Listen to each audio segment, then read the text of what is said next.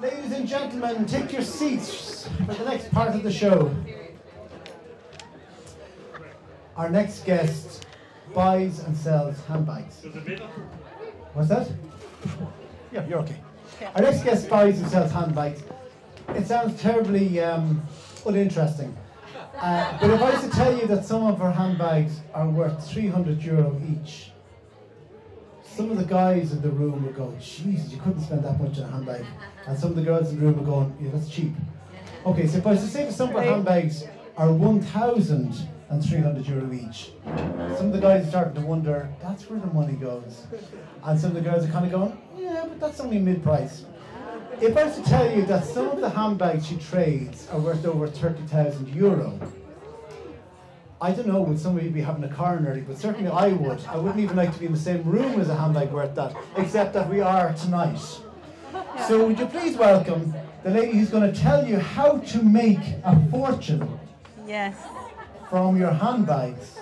Rebecca, Jesus, sorry, I said the right no, wrong name. Ella de Guzman from Siopaella.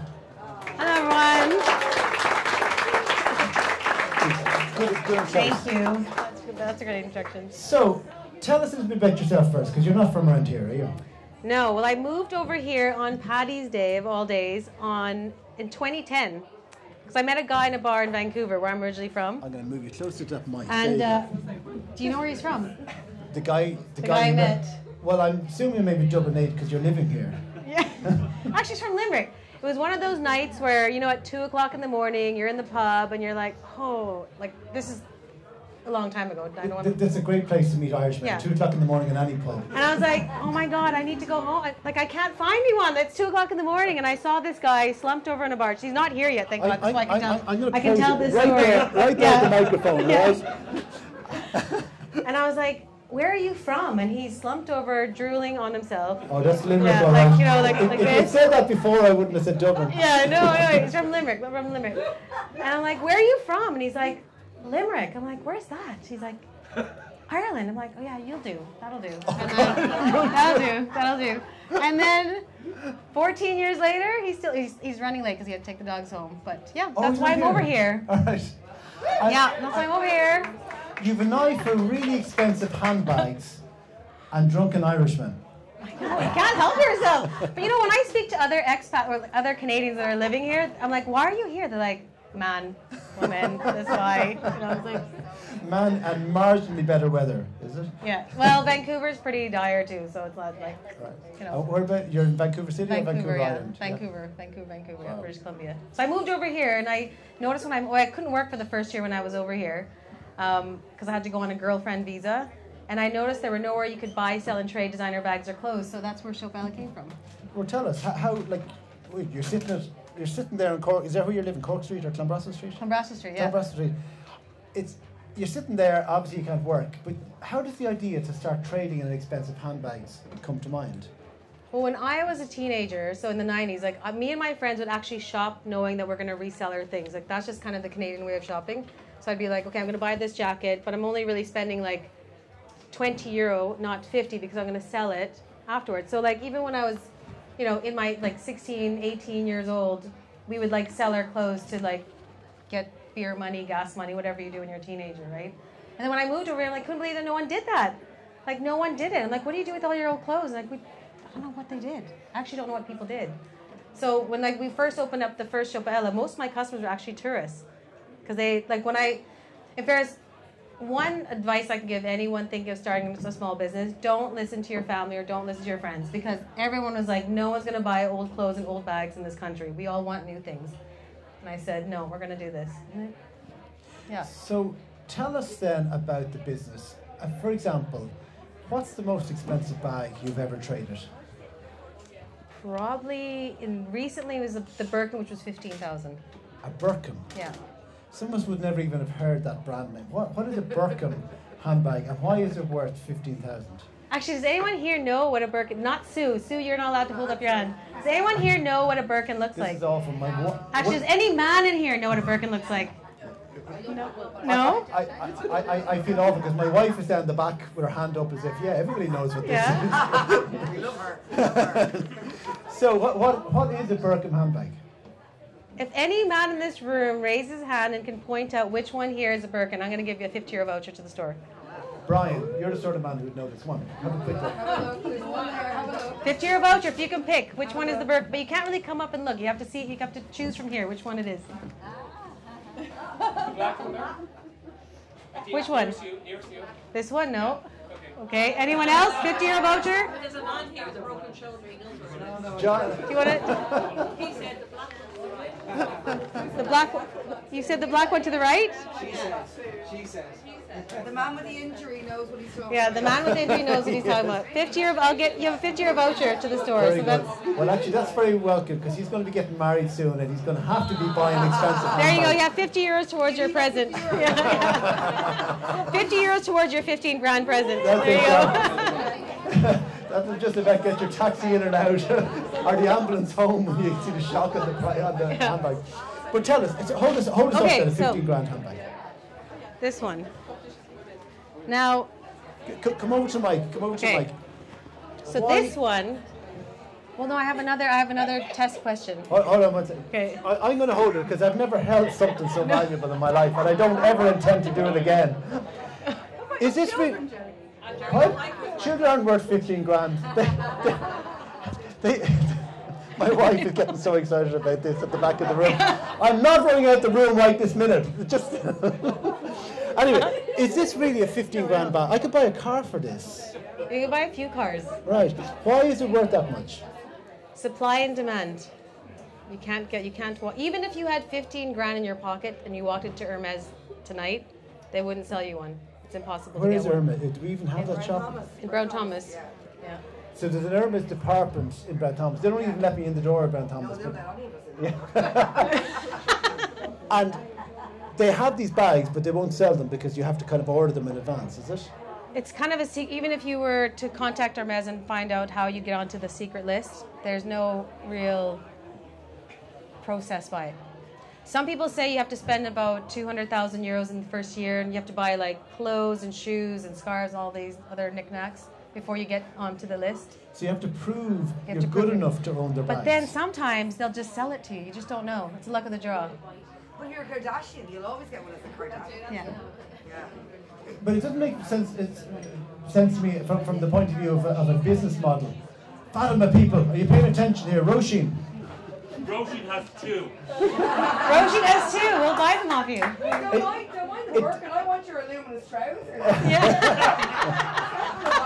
Sold to the lady in the front. Come here. I'll stop you for my work, and I swear to God. it doesn't make sense to me as a business model how you can't just go in and buy something. Why is it that you have to prove yourself to be good enough? Because it's Hermes. It's a whole other ball game of bags. And in this bag, is there something that actually makes it worth that amount of money, or is it just the fact that it's Hermes? Like, is this leather so much better than No. you can get anywhere? No. No, it's not. You don't. You don't spend. Any girl in here would tell you. You don't. I mean, you probably tell your other halves like, "Oh, it's really good quality." But at the end of the day, you are paying for the brand and you're paying for the marketing. It's not gonna like. If I drive over this with my car, it's still gonna break. Right. Whereas other brands, it could last. But then, thing is though, this is actually more. So, does anyone know what the cost of this? If, if you were one of their special clients, can anyone here tell you tell me how much this would cost if you walked into Brown Thomas as a VIP client right now? So I'm selling it for 15k. 30,000? No. 60. No. Oh, Although you can have it for 60 if you want. 9,050. Right? So if you get on their special list and you can purchase one, I will give you 12 grand and you're going to make how much on an initial investment of 9,000? Three grand. So Yeah. 30, 33% profit Yeah. within within an hour. So if you can just walk in and be that special client and say, I want a black Birkin 35 Togo in Palladium hardware, and they actually sell it to you. Yeah. and, and you're and then you feel you can turn around and sell it for 15 grand Yeah. almost straight away. Yeah. There you go. What else have you got? Well, can anyone here? Okay, next. Okay, next prize, another fifty-year voucher to shop. Can anyone guess here which one is actually the real one? Was the one I had not real? Can anyone guess? First one wins.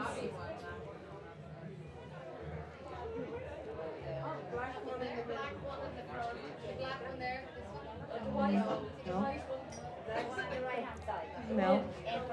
No. The real one. We're looking for the real one in the stash. The one right in the middle. This one.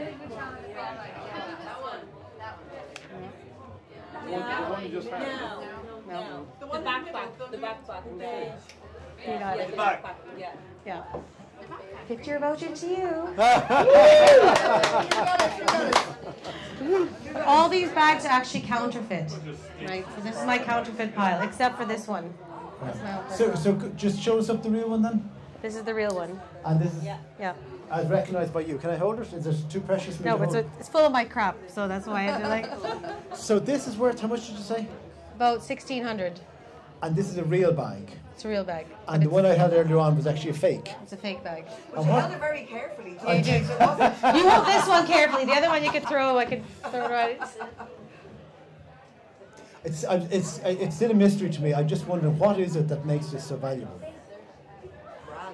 Brand. It's all about the brand. And also, what do you do? Huh?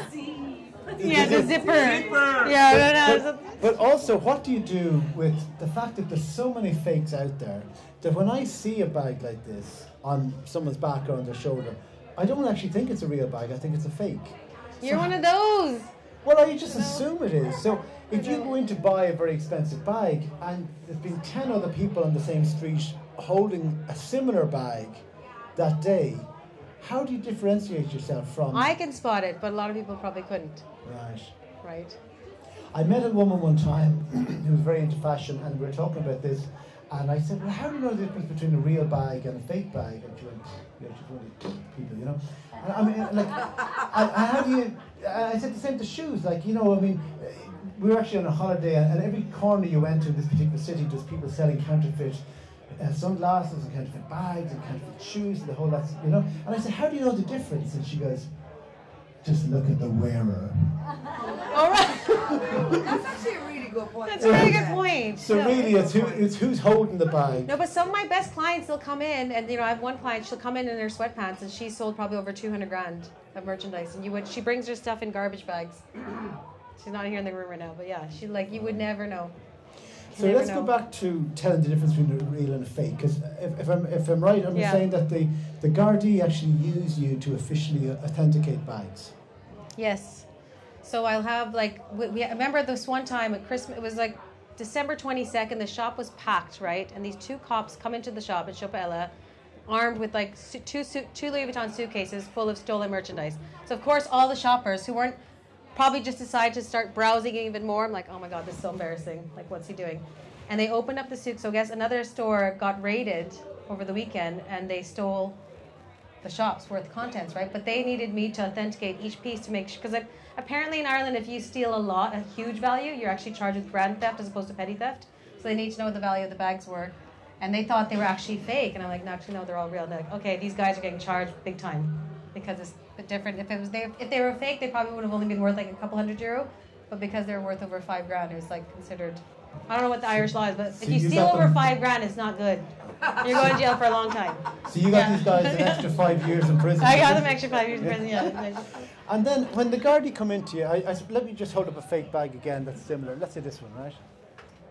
That's a really good fake. Well, That's a really good I, I fake. wouldn't dispute it for a second. Yeah. By Um, the way, she's not selling these at the end of the night for a Yeah, no, fiver. no, no, no, no. Look, if These have been donated by my clients when can- they're if they're fakes, we can just toss them out. Yeah, you can, wouldn't yeah. people want them. They're illegal. So, how do you? Someone comes into you. I'm I'm Garda Gerry here. You know, how's it going there? Can you tell me the real one and tell me the fake one? How do You you look know? at the stitching. This one, you'd look at the font inside the bag. You'd have to look at the date code, how the font lines up. Even, but so a lot of people will say, "Oh, because it's not perfectly lined up, that means it's a counterfeit." That's not true. So it's an old wives' tale. But you have to look at stitching, the font, the date code. We actually run an authenticity program in the shop. So every day, people will hire me to, if, when they're shopping on eBay and adverts, they'll say, "Can you?" I charge 20 euros for a yes or no answer, and they'll hire me to tell them whether something's real or fake. You know. and what's the hardest uh, fake to identify that you've come across? This Gucci bag, Gucci's yeah. They're getting they're getting harder and harder to tell what's real or fake. Like we guarantee everything for life, so you never have to worry shopping with us. But we always say to customers when you're shopping online, make sure you're buying from the person, not the product, right? Because you might see a great deal like this, Unless you're me, you could anyone. That's such. She totally got screwed. I think she paid like 500 euro for that, and it's worth about 40, 50. You know, so So you have people paying. Sorry, what, what is this worth if it's a real bag? around six, seven hundred. Right. So she thought she was getting a discount of about 200 when Yeah. she bought it, Yeah. but it turns out that she was being screwed over by about 400 quid.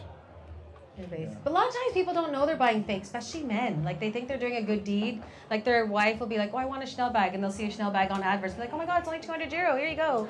And it's really like, no, they're worth like eight, nine thousand. So they think they're doing a good thing, but they're. It's not on purpose. People, I, most people don't buy fakes on purpose. It's usually by accident, Right. right? So what? So if and I just supposing, like, just saying, there's a bloke out there who didn't like spending too much money on his wife, um, and thought and thought he saw something that looked really good on Done Deal. So your advice is that he should somehow borrow it off the buyer, off the seller, and bring it to your shop. Yeah. Pay always you, get authenticated, unless you know what you're talking about. Right. And you pay. You charge how much for authentication? 20 euro. And so for 20 euro, he can find out if the bag is actually worth it or Yeah. not. And even if he finds out it's not worth it, if it looks real, he can still buy it, right? Yeah, exactly. Yeah. he'll probably still buy. it, Yeah. Okay. No, but it is illegal. Like I was stopped at Venice airport and they investigated my Louis Vuitton wallet and they said, "Do you realize if I can prove that this wallet's a fake, it's a 200,000 euro fine." It actually happened to me. I'm the type of person when I go through customs, they like pick me out of a crowd, be like, "You're getting swabbed, you're getting interviewed," and I'm always that one You're saying that you would be charged 200,000 200,000 euro euro for yeah, 'cause it's- holding a fake because bag. it's, it's illegal. Totally illegal, It's yeah. totally illegal. But yet it's a fine. Like you see dealers in Ireland selling them. It's a complete. It just depends on whether you're going to be the one they make an they make an example of, right? but I've but it's heard, totally illegal. I, have never heard of anybody in Ireland being charged with that, have I? I haven't heard. No, I don't know if anyone here knows anyone who's been charged with a fake.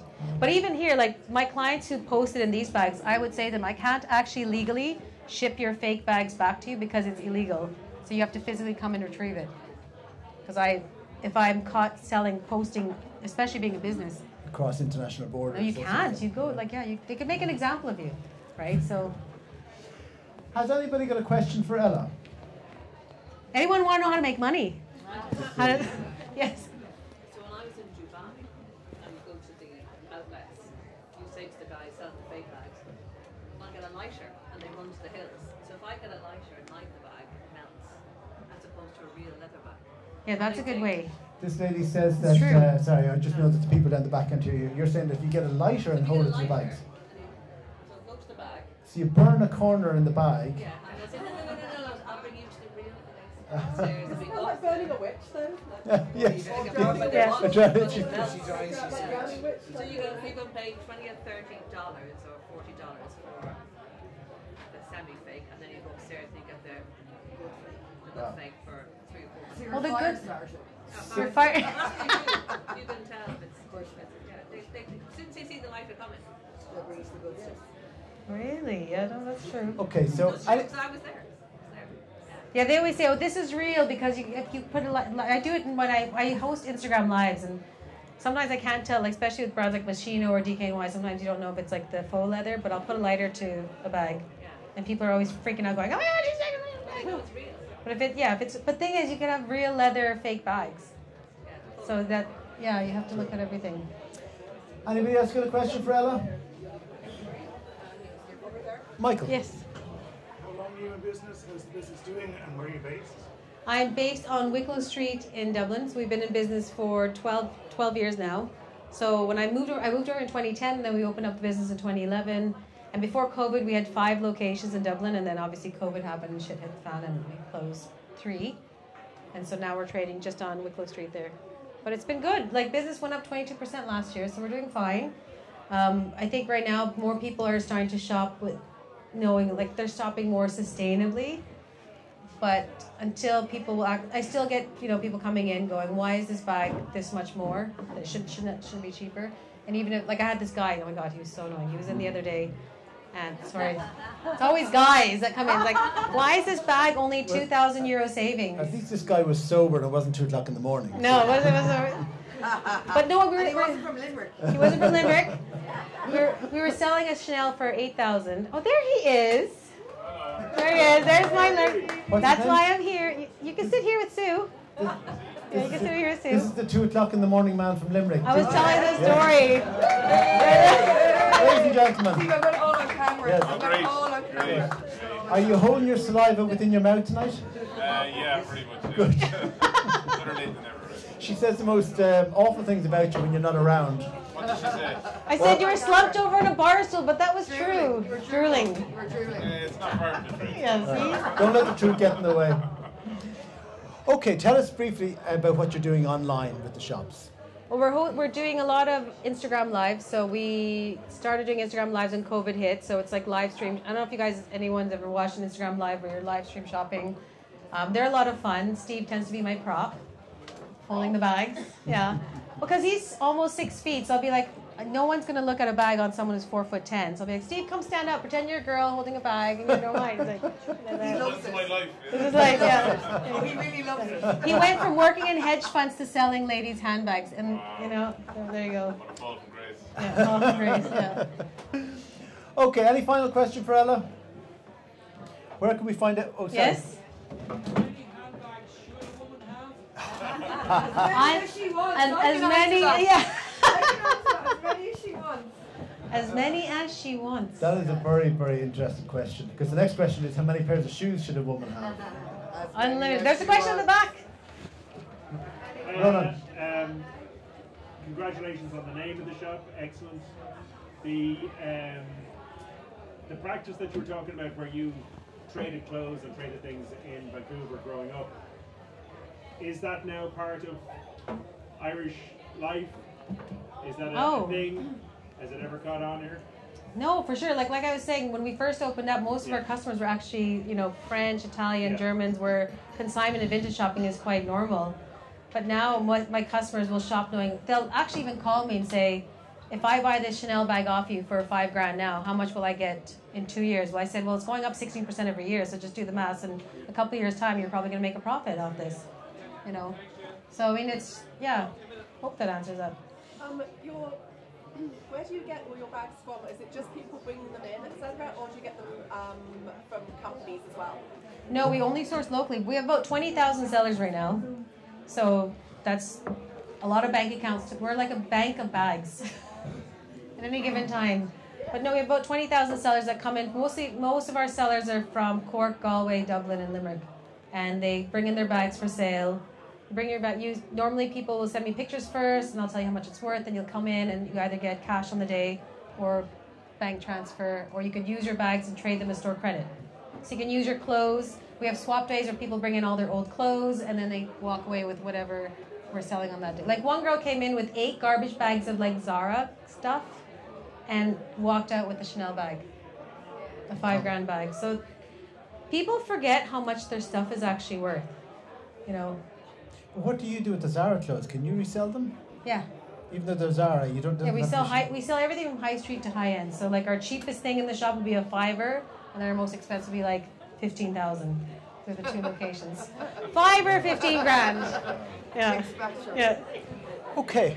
yeah. We've given away our two prizes, have we? Or Yes, we have the two prizes. Okay. Two prizes been given away.